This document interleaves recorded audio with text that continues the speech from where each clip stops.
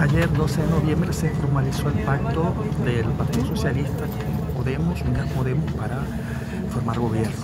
El mismo día se fuga el pollo, el pollo del general ese venezolano, bueno, que pidieron extradición, de los Estados Unidos pidieron extradición, dice que se fugó.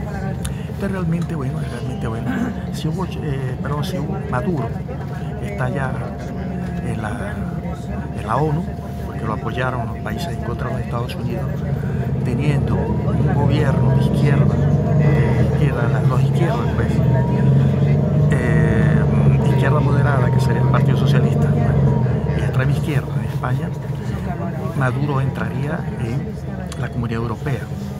Entonces realmente, bueno, ahí está la, situación. Y bueno, a cambio de dinero, pues, claro, Occidente, Pablo Iglesias apoya a Maduro, dicen que en Venezuela no hay ninguna dictadura, y lo mismo eh, Sánchez, eh, evidentemente también bueno llegará ese dinero, por desgracia, ese dinero que ellos se ganan, que no blanquean, que no declaran, o sea, que es dinero legal, la droga, llegaría también a España, evidentemente, ¿no? Entonces, de otra forma, eh, a Pablo Iglesias no le votó nadie del sector donde él vive, el distrito donde él vive. Entonces, bueno, esta es realidad. Aquí en España, bueno, todas estas consecuencias son graves y se, se pagan. Eh, ayer hablé con un sacerdote y me dice, bueno, esta gente va a empezar a cerrar iglesias y todo esto porque, claro, están en contra de la religión católica porque la izquierda en todo el mundo apoya la extensión del Islam.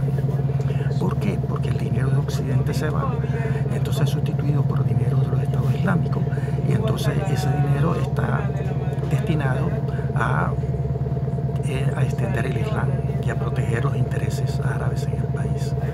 Entonces esa es la realidad. Entonces, bueno, hay que rezar por España porque realmente la situación es grave. Si el Partido Socialista destruyó a España con Felipe González y con Zapatero, bueno, imagínese usted unido a la extrema, a la extrema izquierda de Pablo Iglesias.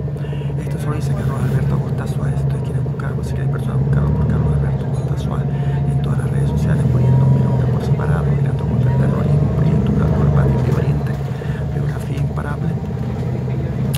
Y también ponga en Nicolás Maracaibo es punto de encontrar la biografía de 50 años dedicada a los, a los derechos humanos de esos 50 años, 37 aquí en España, y realmente traducida del español al inglés, al árabe, al hebreo, al chino, al ruso y a otras lenguas latinas.